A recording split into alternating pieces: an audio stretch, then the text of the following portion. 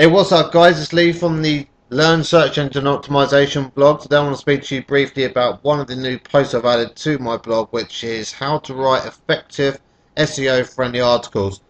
Basically, I've made this video just to give you a bit of an idea as to what's gone into this uh, short but informative post. What you need to do when writing an article is keep the article between 400 to 500 words long. Uh, you don't really need to add any more or less, to be honest with you. The keyword density needs to be around about 2%. Anything more, the directories pretty much consider as spam, so therefore your article will not be accepted. So please make sure not to overstuff the keyword within the article. The way around this is is to pretty much add the keyword the first time in the first sentence and then three times in the body, one time in the very last sentence. That way it gives it a nice overall SEO value and does not stuff it and it will be accepted.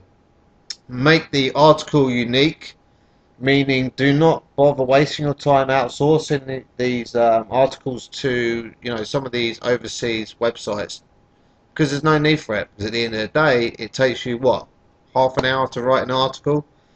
Put a bit of thought into the article because it always comes across well with the readers. At the end of the day, if you're out to gain confidence with your readers and you would like to have them keep visiting your website, your blog, etc., like I say, don't waste time outsourcing it to somebody else who can't even speak English and uh, pretty much get something back that doesn't read very well. So, a quick summary really to what I'm talking about is when writing an article, have it between 400 to 500 words long. The keyword density needs to be around about 2%. So have it one time in the first sentence, three times in the body, one time in the very last sentence. Make sure that the article is compelling. Make sure it's kind of incomplete so it makes the readers come along to your blog afterwards when they've finished reading the very last sentence. Put your link at the bottom. What I'll do is I will actually put all of the top article directories that I've collected up and I'll put them in the description of this video so you'll be able to simply bookmark them and actually upload your articles to them. I hope you found the video somewhat informative.